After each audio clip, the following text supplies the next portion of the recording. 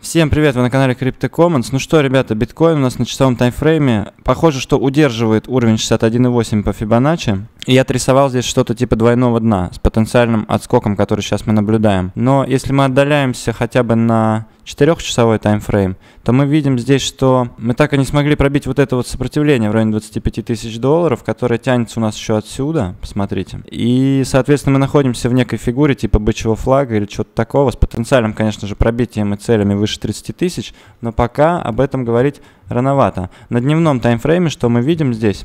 Что мы тестируем сетку EMA Ribbon второй раз как поддержку потенциально сейчас. И если сможем отсюда начать расти, то это будет хороший знак.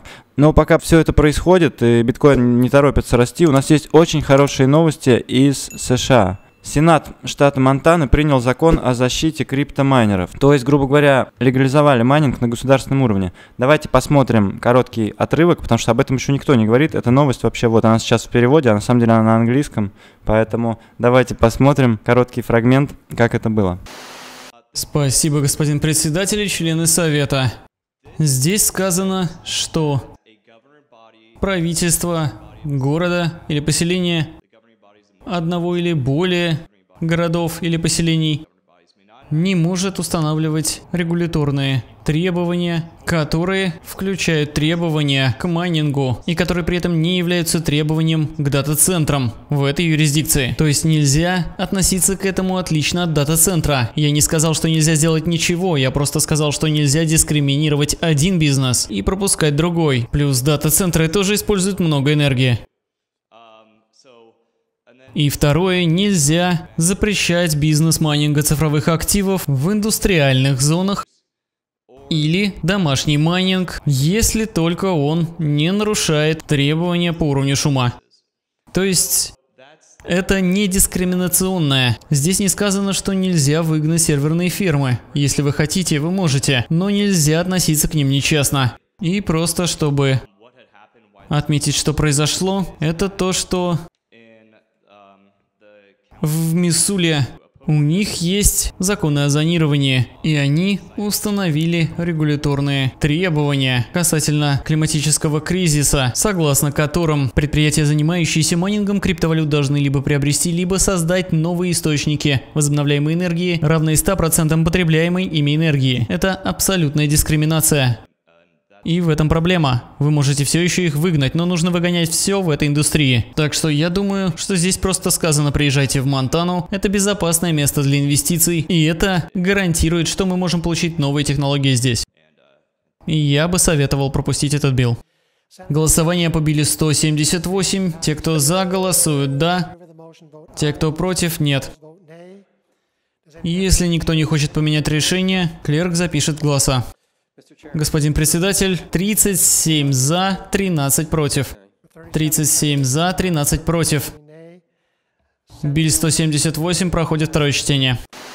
Ну и вот прикиньте, чуваки, вообще, что уже происходит на самом деле. То есть на официальном уровне сейчас майнинг легализован, и можно спокойно заниматься этой отраслью и платить налоги. Но смотрите, что мы видим по ончейн метрикам, в частности, доход майнеров. Сейчас мы видим по этому графику от Into the Cryptoverse от Бенджамина Ковена, что все еще достаточно низкие доходы у майнеров, посмотрите. И мы видим также здесь пики, которые совпадают с пиками бычьих рынков, это пики доходности майнеров. И мы видим, что нам до них еще очень далеко, мягко говоря, и тренд у нас растущий по доходности. Поэтому, конечно же, сейчас умные майнеры и вкидываются в оборудование, и продолжают майнить на долгосрок, а слабые выходят, продают все в убыток и продают свое оборудование за бесценок. Так же, как и, в принципе, в инвестиции, в трейдинге тоже ходлеры побеждают, а слабые отдают им свои деньги.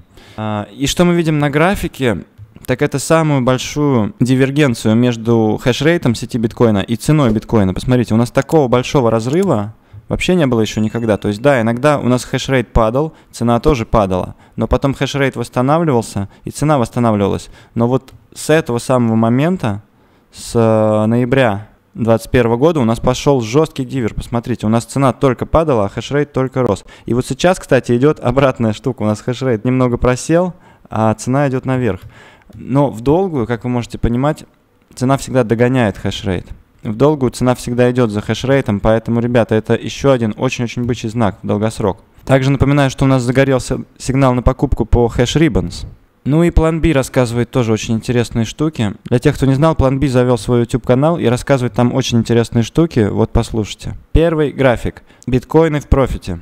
На этом графике мы видим количество биткоинов, находящихся в прибыли, процент количества биткоинов, находящихся в прибыли он-чейн.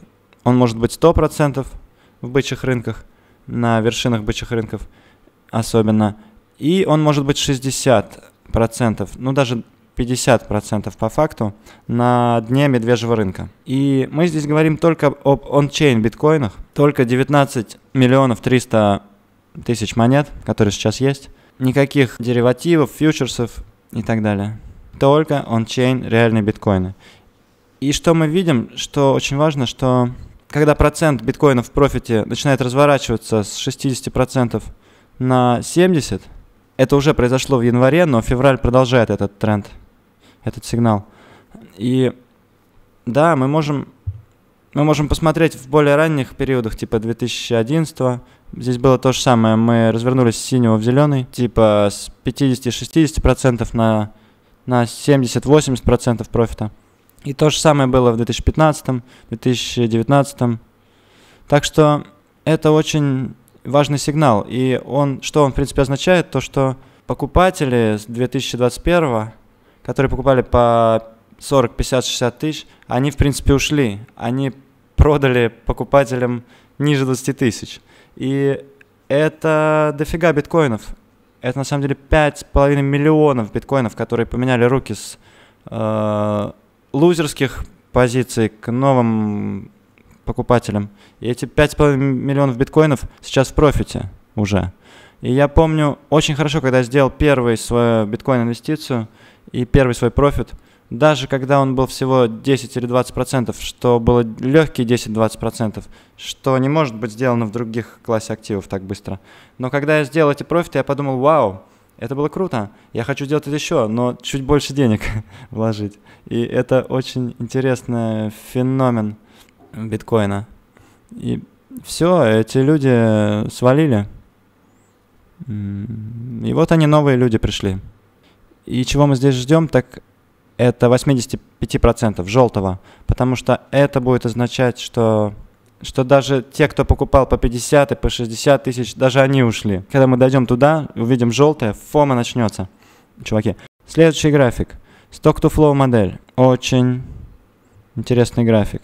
Вы знаете, эта модель основана на дефиците биткоина. И вы знаете, что дефицитные активы более ценные, чем те, которые подвержены инфляции. Например, дома, больше ценное золото. Так что я думаю, что эта модель все еще имеет смысл, что она все еще активна. И если вы помните правильно, то в марте 2019 она правильно предсказала, что цена биткоина пойдет наверх после халвинга. И это произошло.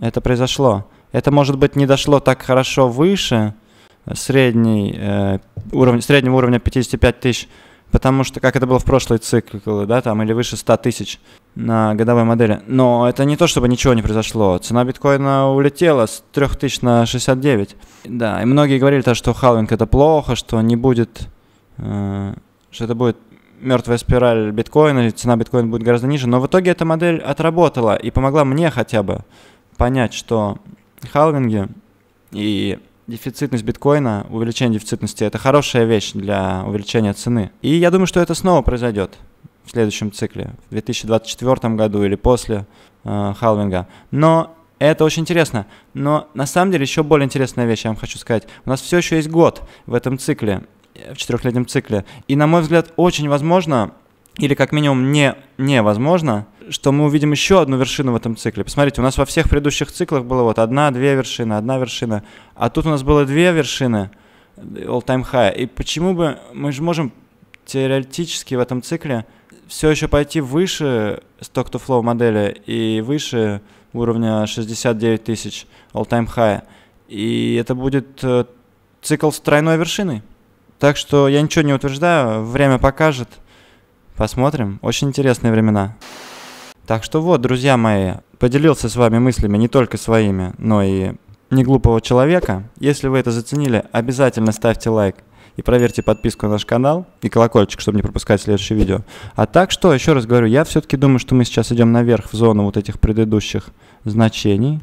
Эфир, опять же, тоже вообще по локальным хаям встал в лонг на Фемиксе. Вижу, что этот уровень сопротивления потенциально может отработать как поддержка, но буду действовать руками, если будет отвержение, буду выходить, перезаходить. На Фемиксе очень много новых фишек, кстати, интересных, таких как Margin Trading, друзья, на споте. Вот, я пока ничего в нем не набрал, но можно как на Binance, если вы знаете, вот с таким же удобным спидометром, набирать э, с пятым плечом, короче, спот-портфель. Но дисклеймер, аккуратно, не финансовый совет. Что еще? На битгете держу остатки лонга по битку. Возможно, потенциально это трендовое, еще раз говорю, возможно, что 61,8 по FIBA отработает сейчас. Но это все локальная история, друзья. На Байбите тоже потихоньку доразгружаю остатки лонгов. Очень хорошую прибыль забрали. Ребят, обязательно проверьте подписку к нам в Телеграм, чтобы не пропускать все важные алерты. Не ведитесь на камеров, мы никогда не просим деньги, доверительное управление, никакие щитки не впариваем.